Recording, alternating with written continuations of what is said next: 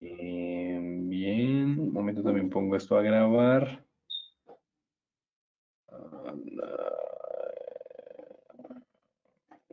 Listo. Por acá dice que la libra se fue, David. Le damos una mirada porque yo ahorita estaba mirándola. ¿Qué pasó? ¿Para dónde se fue? ¿Cómo así? Ah, se fue, pero para alza. bueno, ya revisamos a ver, porque finalmente creo que sigue siendo bajista, ¿vale? Hola Jorge, buenas noches, ¿cómo vas? Hola Camilo, bien, gracias. ¿Y tú qué tal? Todo súper. Eh, listo, ya estoy acá en Facebook y en GoToWebinar. Entonces vamos a empezar la sesión de hoy. Vamos a hablar del análisis de fundamentales. Sabemos que mañana tenemos eh, la noticia del NFP. Y también, esperen un momento, abro el calendario económico. Tenemos para el dólar canadiense la tasa de desempleo y el cambio del empleo. Así que el dólar contra el canadiense pues, va a estar muy movido en la sesión de mañana. ¿Listo? Antes que nada, pues vamos a leer el aviso legal y de riesgo como es costumbre y recuerden que operar con contratos por diferencia, CFDI, es muy especulativo y de alto riesgo y no es adecuado para todos los miembros del público en general. La información que se presenta acá no es una recomendación de inversión y tampoco es asesoramiento financiero. Eh, Jesús, ahora miramos el euro, el euro australiano, ¿vale? Ya le pegamos una miradita. Sergio, desde Santiago. ¿Cómo va, Sergio? Listo, entonces, bien, vamos a analizar, bueno, primero que todo, quiero que miremos las hipótesis que planteamos a lo largo de la semana. Habían muy pocas porque, como se han dado cuenta, el mercado ha estado muy estabilizado, digamos que no ha estado como tan en forma como lo hemos visto en las diferentes semanas, pues eso ha afectado un poco eh, el movimiento y la fluidez de los activos. En la libra teníamos una hipótesis bajista después de que se presentó un primer LH en esta zona. Fíjense que el patrón no se ha dañado. ¿Por qué no se ha dañado? Este LH está en una zona muy importante donde en el pasado uno, dos y tres picos hicieron que el activo retrocediera varias veces. ¿Eso qué significa? Pues que el activo finalmente lo que está haciendo es una corrección claramente más profunda Digamos que esto ya no sería una corrección ordenada, sino mucho más profunda, pero está en un momento donde en cualquier instante puede empezar a caer buscando, por ejemplo, esta zona de mínimos. Es muy, pero muy probable que el activo venga y busque estos mínimos. Ahora bien, si ustedes revisan el marco de cuatro horas, todo tiene su explicación. El marco diario no tenía sobreventa. Bien, es más, el marco diario acá tiene un poquito de sobrecompra porque está alejado al alza de su media móvil de 200. Pero el marco de cuatro horas sí tenía sobreventa, entonces la perdió completamente. Em, por acá nos dice Brian que gracias por compartir tanta información. Ya vi todos sus webinars, es un tesoro de información. Pues muchas gracias, Brian, y es con todo el gusto. Eh, siempre estamos acá dando información pues, de calidad en convenio con Tigmil para que pues todos aquellos que les gusta el mercado eh, participen. Listo, entonces en esta zona, posible retroceso, ¿listo? Hablamos del nivel del 1.29.591, ese sería el nivel exacto donde estaríamos esperando ese retroceso. Sabemos que solo nos queda la sesión europea de mañana y la sesión americana de mañana, así que no tenemos, digamos que, mucho espacio para el desarrollo, pero vamos a ver cómo lo podemos manejar en los marcos intradía. Tenemos un punto a favor y es que en H4 apareció un fuerte rally, un movimiento extendido en velas y ya sabemos que hay dos probabilidades. La primera, un enrangamiento después del rally, ¿listo? Eso es lo que me dicta la probabilidad. Y la segunda, una caída fuerte después del rally. Digamos que aquí, ¿qué nos convendría? Que haya la caída fuerte buscando un patrón en el marco de tiempo de una hora, a lo que clasificamos como anticipación rápida. Pasamos del marco diario a una hora buscando un patrón de negociación. Miren que ayer el activo estaba como por acá. Eso digamos que no había perdido toda la sobreventa, aún estaba un poco alejado. En este momento ya no tenemos absolutamente nada de sobreventa. Entonces, una planeación estratégica para el corto plazo se identificaría en esta tendencia alcista o micro tendencia, perdón, alcista que tienen una hora. La hipótesis acá es sencilla esperamos un retroceso del activo, apenas forme entonces un máximo menor, yo esperaría que esto lo dé entre la asiática empezando la europea, pues le trazamos una orden de compra por acá, una orden de stop loss en esta zona de máximos. Primer desarrollo, pues no tiene mucho espacio. Yo creo que esto no da ni siquiera el 1 a 1 o si da, da únicamente el 1 a 1, pero finalmente nuestro objetivo final iría hasta la zona del 1.28016. Esa es la zona de utilidad final. Tengamos en cuenta algo, mañana viernes probablemente el activo no caiga hasta esa zona, pero sí podríamos sacarle más o menos un 2 o 3 a 1 en caso de que dé el patrón. Finalmente, la alineación, ¿cuál es? De marco mensual, bajista, marco semanal indeciso y marco diario muy bajista. Tenemos una doble alineación de marcos referenciales que podría hacer que en cualquier momento caiga. Un saludo para Leo, eh, que está de vacaciones en Cartagena. Ah, Leo, tú, tú no eres colombiano, ven, qué bueno que te haya gustado mucho Cartagena, es una ciudad hermosa. Cristian, buenas noches. Em, por acá un saludo también para Sebastián y para Andrés. Buenas noches, ¿cómo van? Listo, entonces la hipótesis eh, se mantiene. Yo sigo pensando que la libra es bajista. Ahora, me preguntan mucho cómo se daña la hipótesis. Pues si el activo efectivamente sigue subiendo, ¿sí? no para la subida como lo que está haciendo el euro, que como se pudieron dar cuenta hoy siguió subiendo. Digamos que tocó una resistencia semanal que probablemente mañana se estabilice, pero siguió al alza. En este momento la libra puede que haga lo mismo. Recuerden que la libra y el euro son muy correlacionales, o sea, lo que hace el euro trata de imitarlo la libra. Ahora bien, yo espero que por la múltiple señal técnica la libra pueda caer. Que si le afecta el fundamental de mañana, las nóminas agrícolas, sí lo afecta. ¿Por qué lo afecta? Por el sencillo hecho, espérenme un segundo, quito esto, ya. Por el sencillo hecho de que estamos hablando del dólar americano. Ahora, en mi experiencia sé que la libra dólar no es un par que se afecte demasiado. Por ejemplo, el dólar canadiense es un activo muy volátil a este tipo de noticias. El euro dólar también, el dólar franco, el dólar yen. Pero la libra dólar finalmente no es que sufra tanto, no tenga una afectación tan, tan directa. Eh, Sebastián, eh, este es de la, de la libra dólar. Hola Mesías, buenas noches, ¿cómo estás? Este es de la libra dólar. Listo, estamos viendo libra dólar. No nos hemos cambiado el activo.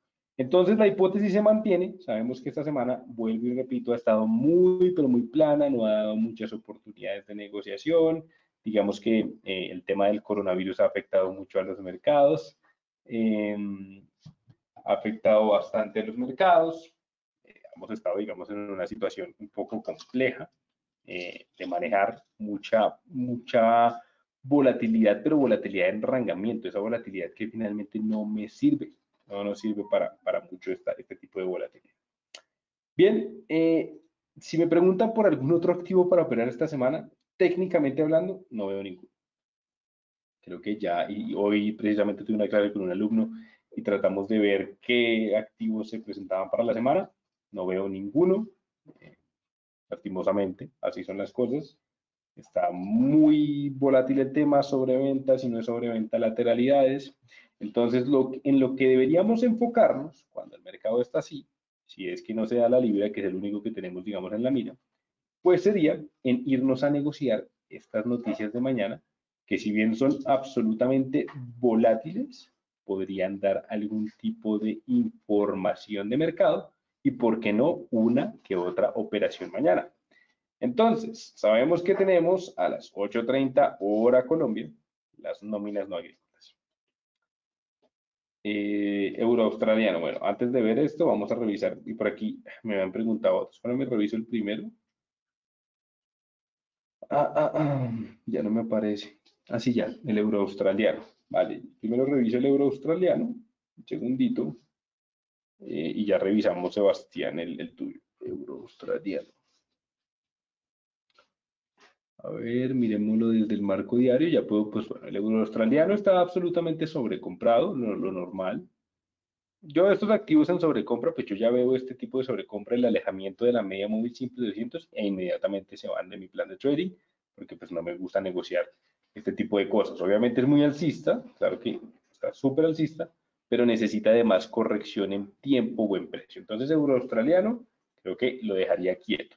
Me preguntan por acá, Ah, era, era Sebastián Pérez el que me estaba preguntando. Vale, era, el, euro australiano. Pues Sebastián, mira, ¿qué pasa? Te explico bien. Eh, cuando un activo tú ves que tiene este tipo de sobrecompra en H4, pues la probabilidad me dice lo siguiente. En cualquier momento, el activo viene y empieza o a enrangarse o a caer. ¿Listo? Lo que deberíamos esperar es que cuando caiga se acerque a su media móvil de 200 y posteriormente, si empiece a hacer patrones alcistas, para uno entrar en una negociación ya mucho más probable de desarrollarse. En este momento, una compra es muy riesgosa. No digo que no se pueda dar, porque pues finalmente el mercado hace lo que quiere, pero finalmente sí es muy, pero muy riesgosa, Sebastián, entrar en un activo que está así de vertical, así de volátil. Esto es un patrón alcista, es un mínimo mayor, pero es un mínimo mayor después de una extensión en peras muy abrupta.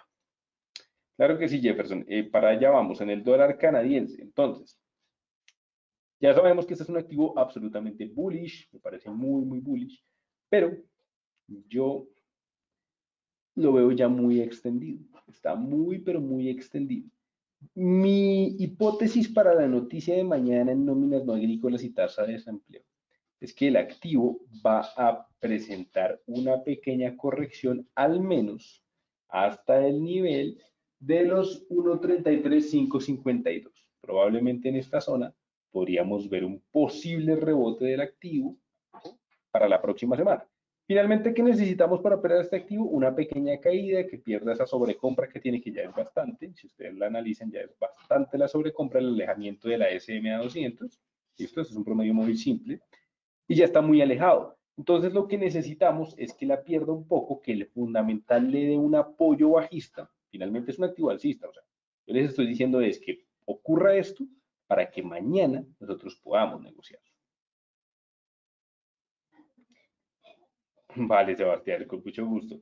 Listo, entonces eh, esperamos eso, esperamos que ahora es una hipótesis que se da eh, basada en fundamentales, ¿listo? Basada única y exclusivamente en fundamentales. Técnicamente el activo debería corregir un poco en tiempo y, mantenerse en esa zona y posteriormente cuando vulnere esta resistencia, cuando vulnere esta resistencia, pues ya lo podríamos ver ya mucho más arriba, ¿vale? Pero pues aún, digamos que estamos planteando una operación de apoyo técnico con apoyo fundamental, ¿listo?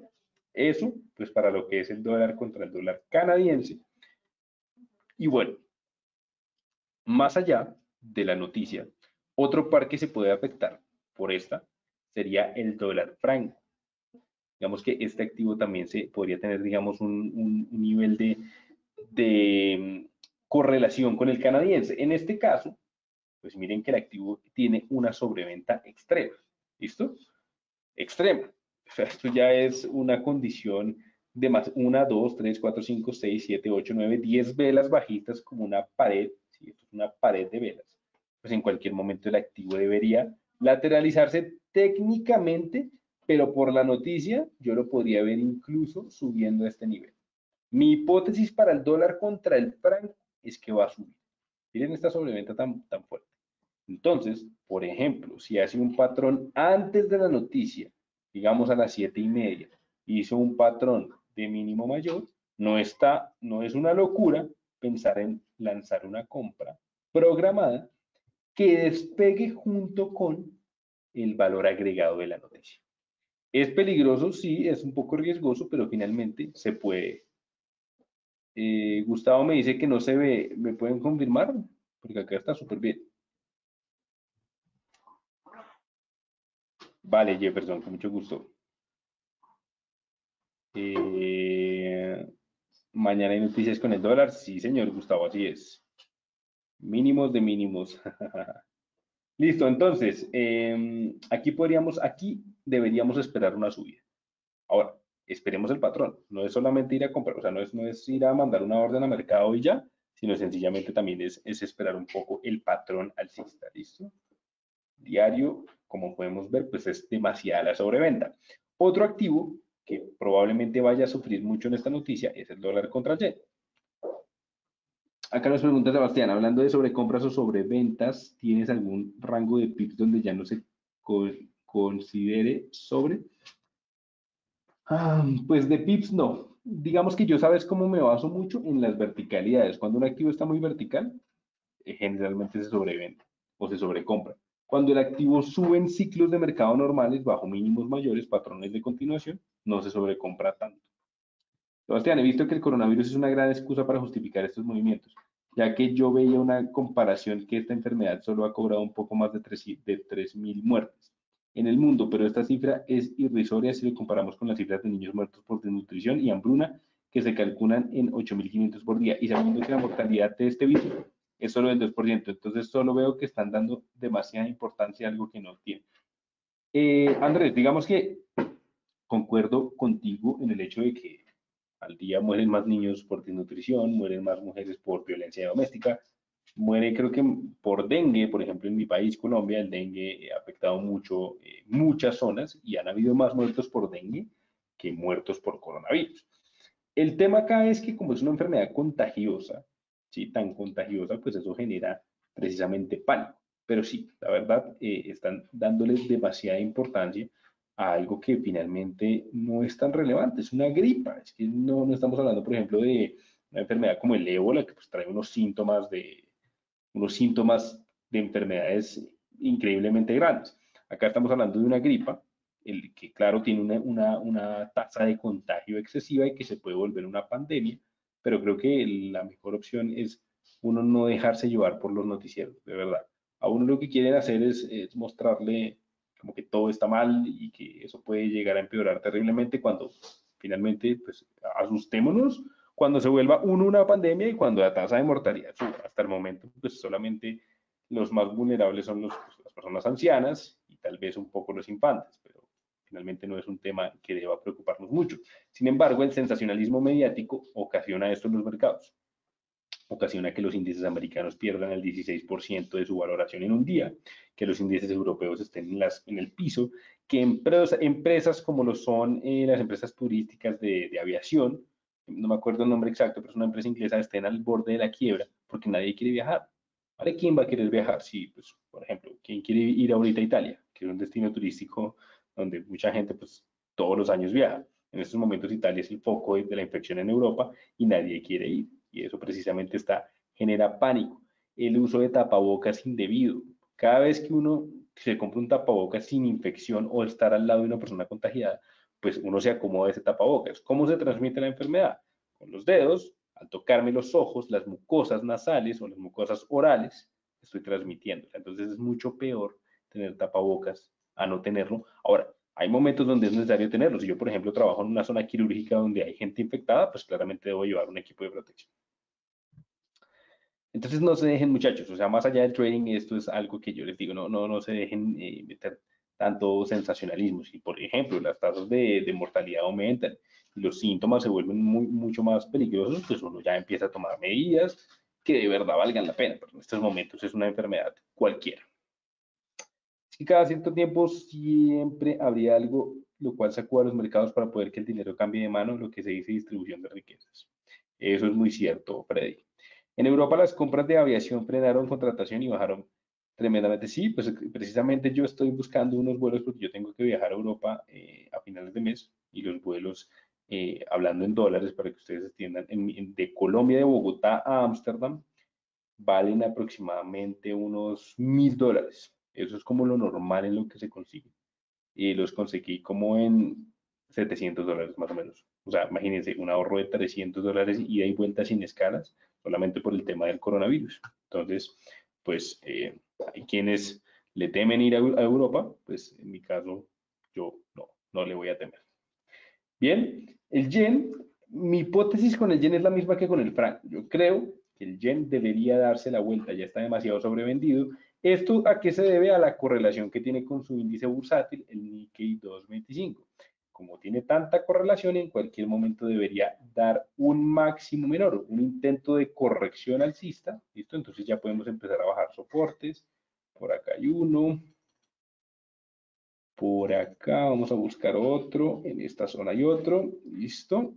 Y yo creo que con este ya estamos bien. ¿Listo? ¿Vale? Siempre acuérdense que después de esta desestabilidad en los mercados, pues uno le toca empezar a ver, a, cambiar soportes. Por acá nos preguntan, o bueno, nos comentan, Sebastián, he visto que en algunos casos pones el profit después del rompimiento de un soporte o una resistencia, como en este caso de la libra. ¿De qué depende ese factor? ¿En qué casos se debería pensar que un activo tiene fluidez más allá de un soporte y resistencia determinado? Listo.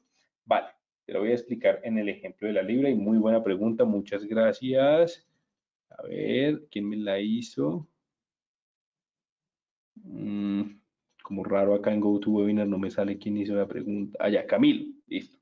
Camilo, entonces, vamos a marco de una hora. ¿Listo? Como el siguiente soporte está tan cerca del activo. Ahora, no significa que el take profit, mejor dicho, si yo pongo un take profit acá, ¿listo? Digamos que esta es mi zona de TP, mi TP, y digamos que, no sé, vamos a probar esta es la zona de stop loss.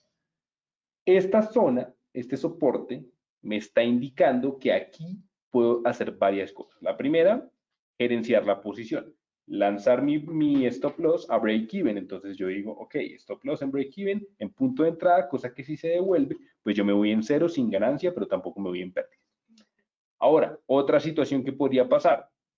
En esta zona yo puedo tomar parte de la utilidad. Ejemplo, el 50% del total de mi posición. Si negocio un lote, pues tomo 0.5 de ese lote. ¿Listo? Y dejo el resto abierto.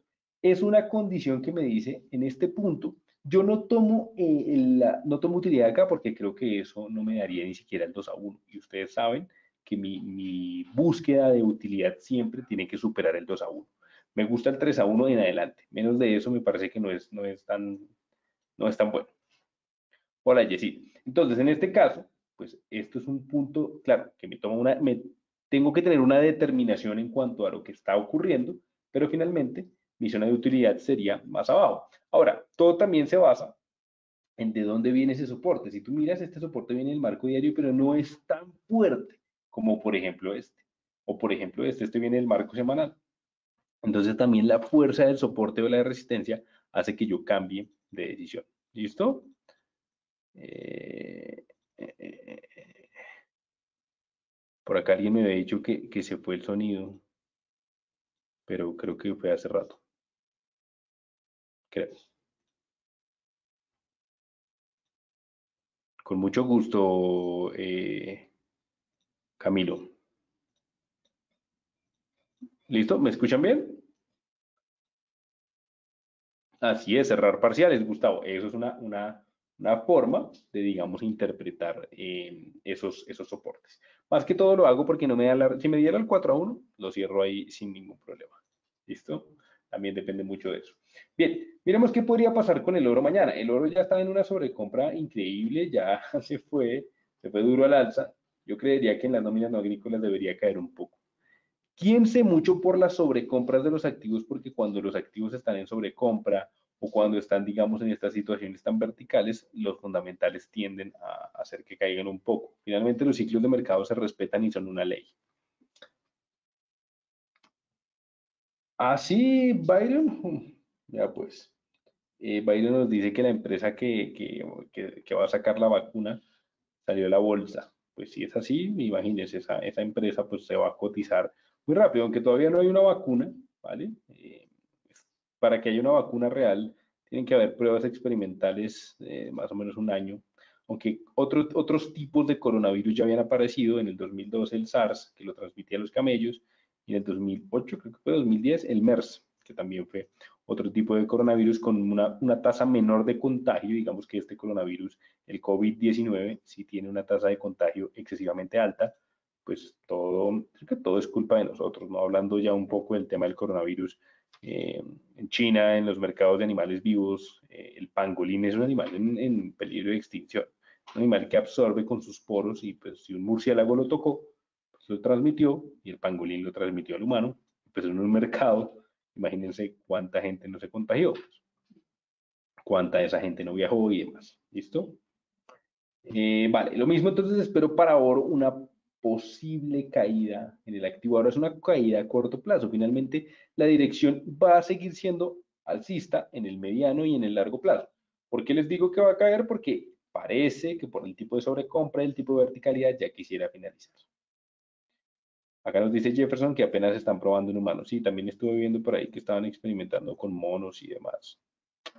Bueno, Nosotros como especie somos un peligro, de verdad. Nosotros mismos originamos el virus. Ahora bien, si ustedes miran, por ejemplo, eh, la polución, cómo mejoró la capa medioambiental en China después del coronavirus, mejoró muchísimo. O sea, eso nos muestra que el mundo sin humanos es cada vez mejor. Lastimosamente es así, de verdad que sí. Bien, eh, listo. ¿Qué más tenemos por acá? Listo. En cuanto a los índices americanos, ¿cómo podrían reaccionar ante la noticia? Pues aquí sí créanme que es completamente inesperado, porque, claro, sabemos que la volatilidad de las nóminas no agrícolas es bastante, pero es que ahorita la volatilidad se concentra en esta enfermedad, en el coronavirus. O sea, los índices no están cayendo por tipos de interés, no están cayendo por, no, por nóminas no agrícolas, por recesiones económicas, están cayendo por y única y exclusivamente por coronavirus. Entonces, por ejemplo, y se los decía ayer en el webinar, si mañana la OMS lo declara pandemia, ténganse que tenemos una caída en los índices, una cosa, yo creo que podríamos llegar a buscar niveles, más o menos acá, esta zona, esta sería una zona muy importante. Ya sería otro 16%, con eso completaríamos un 32%, y bueno, eso sería grave, muy, muy grave para, para la economía, ¿listo? es el Standard Poor's 500, lo mismo lo podemos ver en los índices americanos, ningún índice se ha salvado. Y quiero también que miremos, eh, aprovechemos y le demos una revisada al dólar contra el peso colombiano, que también ha tenido una gran subida. Y esto alcanzó a estar la semana pasada en máximos. Semana pasada o a principios de semana. wow. 3.542 volvió no miramos esto porque no, no había visto. O no sé si es que no ha cargado, porque 3.542 es, bueno, a mí me gusta cuando sube porque a mí eh, me llega un dinero en dólares. Entonces, cuando hago el cambio, pues finalmente es algo beneficiado. Pero finalmente para la economía de Colombia no es nada bueno que el dólar suba. Bueno que baje. A ver. Eh, pues, porque esto, no, esto se está demorando mucho en cargar. Hay que ver y sacarle lo positivo a todo esto. Oportunidades en el trading, tiquetes baratos y descontaminación de bajo consumo de combustibles fósiles. Completamente de acuerdo contigo, eh, Andrés. Yo creo que yo hace mucho tiempo no veía un ticket tan, tan barato, de verdad. yo me asombré como, wow. O sea, siempre que yo iba a viajar a Europa, porque es que mi hermano vive en Europa, voy a ir a visitarlo precisamente y decía como, no, es que no puedo ir porque está muy costoso, 4 millones un tiquete, o sea, son más de 1.300 dólares. Acá nos dice Gustavo que le espero al oro en 1.685. El oro, o sea, a ver, ¿en cuánto está el oro en estos momentos? 1.676. ¿Tú lo esperas subiendo más? Pues la tendencia inevitablemente está al alza. De pronto mañana en la noticia cae un poquito, entonces para que tengas cuidado eh, pero bueno, finalmente está muy, muy alcista. Y yo no sé qué le pasó a esto, no quiere cargar, eh, se enloqueció. Todo, o sea, tengo, se supone que mi conexión está súper bien, pero no carga. Esperen un segundo, le doy un refresh a ver si de pronto ya, y si no cambiamos de página porque este investing no está fallando. Ah, tocó ir a TradingView.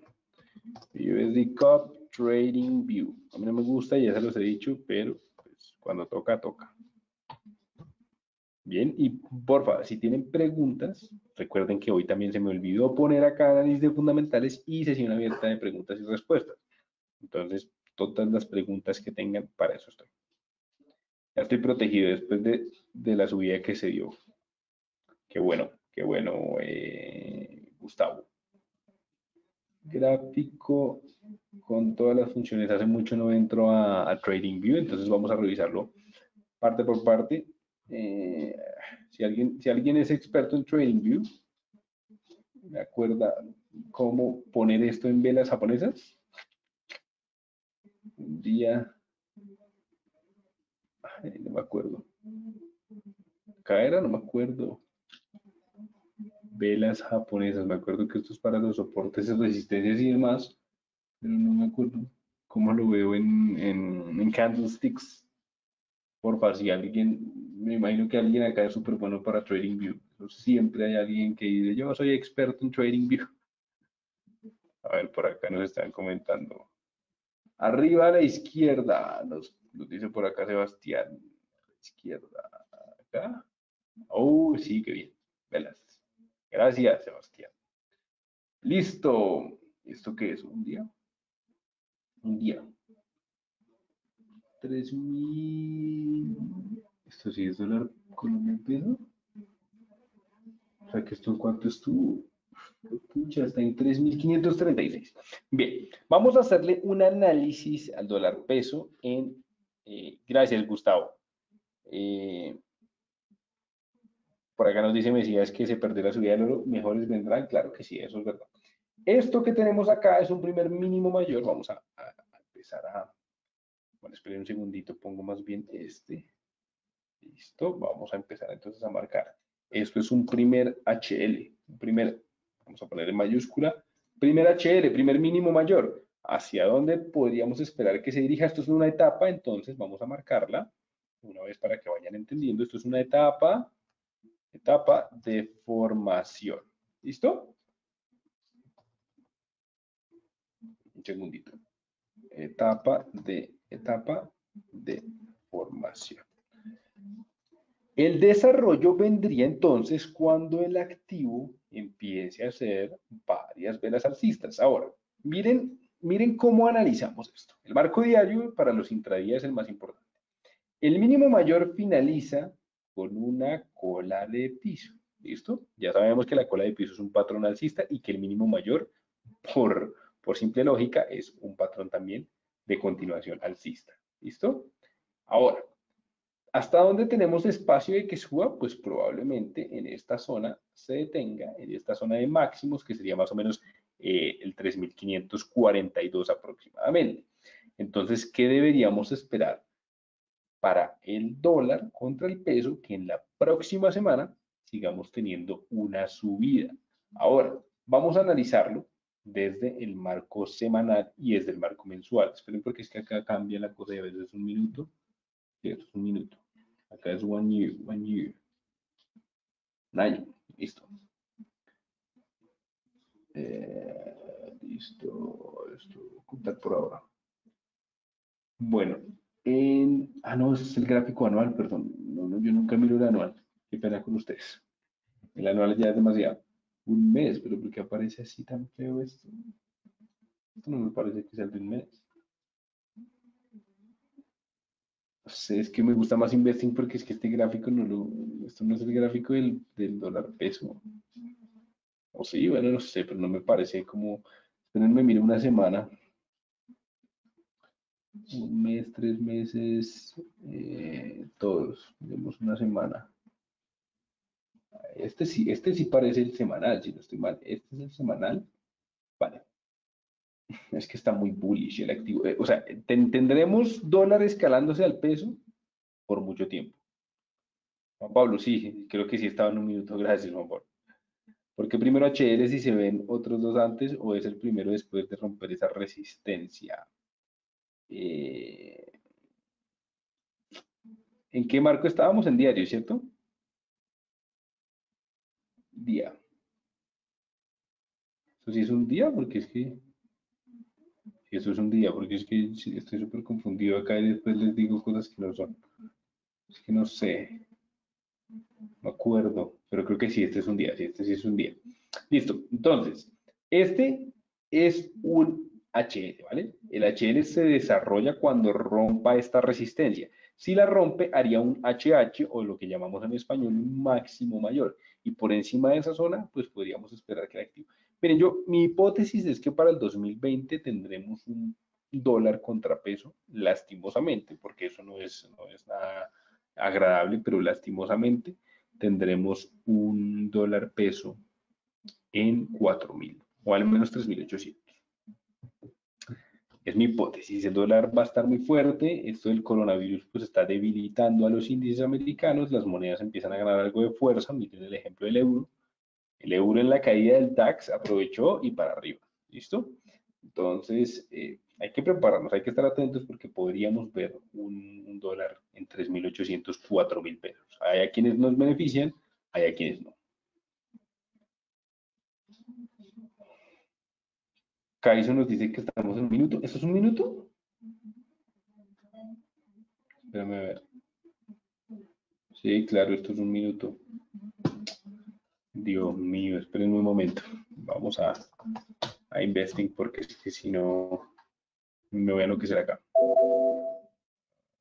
Es que yo, esta página no me gusta. The Cup Investing. Investing. Lástima que en el MetaTrader no está, porque es que el MetaTrader sería súper porque le puede trazar uno las líneas y todo. Gracias, Juan Pablo. Qué pena con ustedes, de verdad, lo siento. Eh, no soy experto en, en TradingView y creo que ya lo notaron. Ya ahora sí estoy seguro que va a cargar y si no ya me dijeron que arriba a la derecha los marcos, pero ya yo sé que va a cargar un momentico. Pongámoslo en vela si no lo pongamos en técnico. Listo. Ya. Cargó. Ok, vamos a un día. Ahora sí. El problema es que me toca agrandarlo porque no me deja ver. Y es cuando lo agrando que como que se traba. Sí, es acá cuando se traba. Bueno, volvamos acá y le damos gráfico con todas las funciones y ahora sí voy a buscar que me dijeron que en la parte de arriba. ¿Listo? Vamos a ver. Vamos a ver, si no yo sé que este de pronto carga. Yo sí dije, ese, mínimo mayor en un minuto está hermoso y si fuera así en diario, pues no, pero ya vi que el diario no está tan bueno y ya vamos, ah, ya aquí, ok, listo. Ahora sí cambió la cosa, un día, listo. Un día, no, claro, ya. Entonces, ¿qué esperamos? Eh, ojo porque, miren, la cola de piso funcionó muy bien. El mínimo mayor hizo que el activo despegara, vela de indecisión lo hizo despegar, pero ya está en una fuerte resistencia, ya está en 3.536, eso ya es demasiado, ¿vale? Está ya demasiado alto el activo, está en una zona de colas. Probablemente mañana eh, ya pare esa subida y la próxima semana tengamos una pequeña caída. ¿Listo? Ya analizando este activo así, es lo más probable. Entonces, no más compras por el momento. Yo sé que uno no puede negociar, pero hay pocas plataformas que dejan negociar el, dólar contra el peso en, en, una plataforma como los MT4 en Forex y demás. Aquí tocaría hacerlo directamente comprándolo en la Bolsa de Valores de Colombia, haciendo especulación. Pero pues hay gente que lo utiliza como, no sé, si es importadora, pues espera que baje para poder importar sus productos y no llevarse pues una, eh, no llevarse una mala sensación cuando el activo pues esté tan alcista como lo ha estado en los, en los últimos días. Lo mismo para los exportadores, pues a los exportadores ahorita les beneficia mucho estar venda, que venda, que venda, que venda, porque finalmente cuando les pagan la plata en dólares, pues ellos lo cambian a pesos y le ganan mucho más. ¿Listo? Entonces aquellos exportadores, eh, yo soy uno de ellos, me, me conviene mucho, aunque yo la verdad me conviene más el euro y el euro también está súper alto, entonces, pues estoy, la verdad, les digo, estoy contento con esta subida. Pero pues bueno, me gusta también que hayan como topes. Por acá me pidieron que si hacía un backtesting del euro, por supuesto que sí. La explicación al euro técnica de por qué está subiendo es muy sencilla. El activo presentó una cola de piso en febrero. Esto estaba marcando la finalización bajista. Y pueden esperar que el euro probablemente venga a visitar esta zona de resistencia junto con eh, línea de tendencia. Si viene a esa zona, cuidado, hay dos opciones. La primera y la más, digamos que la más probable, es que rebote, perdón, retroceda y probablemente venga nuevamente a visitar sus mínimos. O la segunda, que la verdad yo también ya quisiera verla, es que el activo rompa y cambie completamente la tendencia. En un mínimo mayor después de ruptura, podríamos tener nuevamente unos 5 o 6 años de compras en el euro dólar. Todo depende. Ah, en estos momentos es muy prematuro pensar en eso. Aquí, ¿qué esperar? Pues que el activo venga hasta esta zona. ¿Listo? Esa es una zona donde podríamos entrar a comprar. Ahora bien, ¿cómo compramos? Entonces, sabemos que el activo, pues vino, visitó esta zona, hizo una vela de indecisión y empezó a subir inmediatamente con dos velas de rango amplio, aunque esta no ha finalizado. Entonces no la podemos catalogar como rango amplio aún, porque puede que no finalice así rompió esta gran resistencia a nivel de los 1.11.956. Eh, Una fuerte resistencia. Si por encima de esta zona, yo vería al euro bullish. Ahora, ¿cómo lo negociamos? Recuerden, marco diario el más relevante de todos. Entonces, como el marco diario para los operadores intradía es el más relevante, vamos a quitar un poquito de suma acá para apreciar esto bien. Lo que yo espero es que la próxima semana, por ejemplo, el activo haga una buena formación en P, que se mantenga acá en una corrección en precio, y esa P, al menos de una o dos semanas, podría ser que cuando la rompa, despegue fuertemente. ¿Listo? Entonces, paso número uno, este, este soporte de esta zona ya no me sirve para nada, porque el activo ya está muy lejos, vamos a buscar una nueva zona de resistencia. Por acá estoy viendo una no tan relevante, pero pues puede que funcione y voy a pasar esta de acá acá, que esta sí es una zona muy relevante. Miren estos dos picos, cómo hicieron que el activo retrocediera en el pasado y pues va a ser una zona de una zona común para, para identificar hasta dónde va a subir el activo. Por acá nos pide Yesid que el dólar contra el mexicano, peso mexicano. Listo, claro que sí, Yesid. Vámonos entonces a esta plantilla y ponemos el USD MXN. A ver, hace rato no lo reviso, entonces no sé. Bueno, ha tenido una gran subida. Vamos a semanal. Ya tiene un mejor comportamiento. Antes cuando lo revisábamos no encontrábamos nada. En esta zona rebotó fuertemente. Vamos a ver qué resistencia se ha llevado. Una por acá, otra. Bueno, está en una zona de resistencia fuerte. Hay que tener cuidado porque en esta zona probablemente vaya a entrar en lateralidad y por sobre todo por la sobrecompra y la verticalidad que tiene. Listo. Eh, para trazarle un poquito más, digamos que ya la próxima zona. Esta zona no está tan relevante, sería más o menos por acá. Tiene mucho espacio de subida siempre y cuando haga una lateralidad primero. Pero es que miren la sobrecompra que tiene, ya es demasiada, ya es exagerada. Este, este nivel de sobrecompra pues nos afecta bastante porque cualquier compra queda suspendida. Lo que yo esperaría es que mañana en la noticia del dólar, esto es lo que debería ocurrir con el dólar general. General es eh, dólar contra canadiense, dólar contra eh, peso mexicano es que el activo venga, por ejemplo, y caiga y visite esta zona y pierda toda esta sobrecompra exagerada que está presentando con respecto a su SMA 200. ¿Listo? Esas son mis hipótesis. Esa es la manera en la que yo creo que se va a desenvolver el mercado mañana. ¿Listo? El dólar debería caer un poco. Eso afecta también al dólar peso, tengámoslo muy en cuenta. Afecta mucho al dólar peso. Entonces, con base en ello, podemos o no podemos operar. Finalmente, no han habido muchas oportunidades en el mercado, eso sí hay que hablarlo. Eh, ha estado un mercado quieto esta semana. La verdad, si no es la libra, pues yo me voy en ceros, me voy en sin operaciones, ni, ni, ganancias ni pérdidas.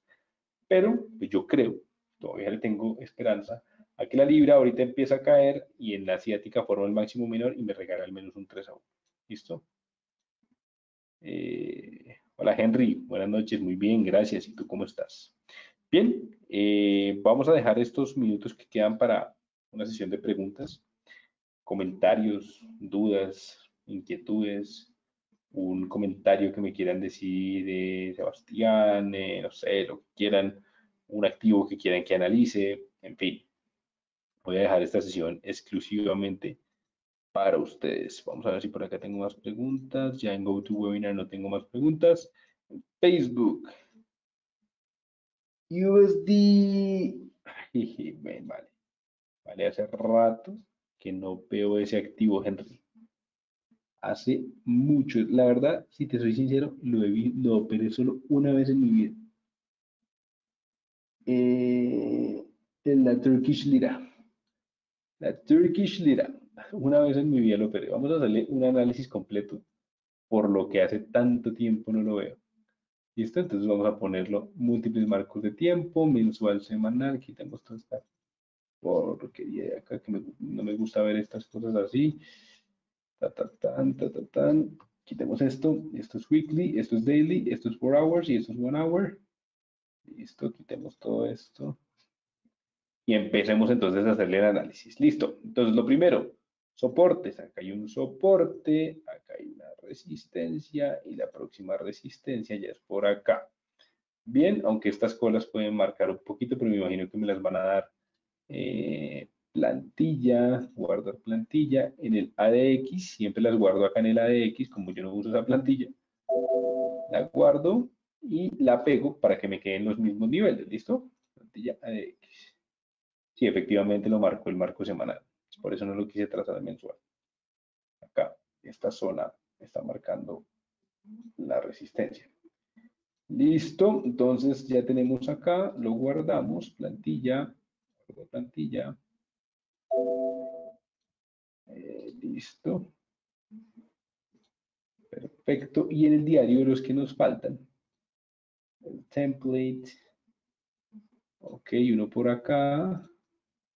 Y vamos a trazarle uno por acá. Bien, en el diario, pues tuvo una fuerte extensión en veras que tuvo su corrección en precio, excelente. Esta corrección es en mínimo mayor increíble. Vamos a ver, listo, ya perdió absolutamente toda la sobrecompra, eso era lo que estaba esperando, y está haciendo nuevamente sitios de mercado. Uf, muchachos, muchachos, muchachos, muchas gracias Henry por haberme dado este activo. Esto es una operación que yo estaría ejecutando. Es más, ¿saben qué? Vamos a ejecutarla. Ahora, ojo, porque es que, a ver, acá el tema es que esto no es una asesoría, o sea, no va, no, esto no es una recomendación de inversión ni tampoco es una señal. Euroneozelandés, ya lo reviso John Master, estoy preocupada, estoy procurando manejar la operativa a largo plazo que recomiendas para manejar el riesgo con los fundamentales. Eh, a largo plazo, pues los fundamentales si operas en el marco diario no te afectan la volatilidad. Listo, entre más grande sea el marco, cuatro horas a diario, la volatilidad no te afecta casi. Igual, pendiente del stop loss, siempre un Sí, claro que sí, Brian. En, una, en, otro webinar lo, lo, priorizamos, ¿listo? Entonces, miren, miren cómo opero yo con el Fibonacci de bien. Entonces, orden pendiente. Tipo es una buy stop. Entrada, esperen porque puse la entrada mal. Acá. Acá y esto un poquito más acá para que me, me, dé el espacio. Listo, entonces, nueva orden orden pendiente, eh, orden pendiente es una buy stop, entrada 6.12344. Entonces aquí lo modificamos, 6.12344. Tengo el stop loss en 6.10034, 6.10034. Y le va a poner un take profit del 4 a 1, 6.21.585. 6 21, 585. Listo. Creo que todo está bien. Eh, vamos a ponerle más o menos unos .04. No, vamos a ponerle .08. Vamos con punto 1. ¿Qué pasó? ¿Qué pasó? Ah, es que se me borró acá.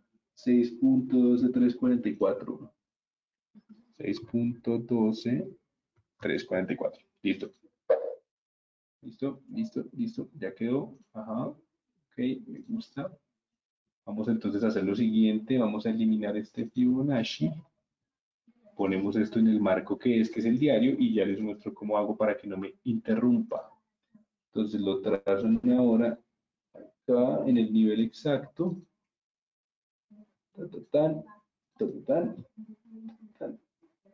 Aunque no me da exactico, un momentico a ver si puedo.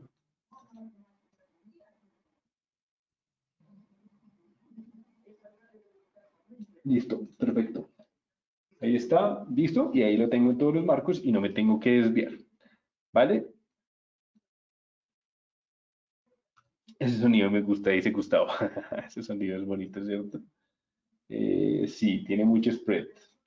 Eso es, un, eso es, un, problema, pero yo espero que se normalice. Pero sí tiene mucho spread y me imagino que no es por la hora, sino por el tipo de activo. Turkish Lira. Es el dólar contra la lira, la lira, la lira, me volví, em, ¿cómo se llama? Disléxico.